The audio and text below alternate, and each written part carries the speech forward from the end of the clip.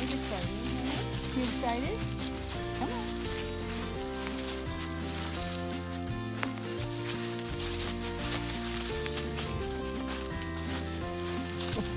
Come on, let's go this way.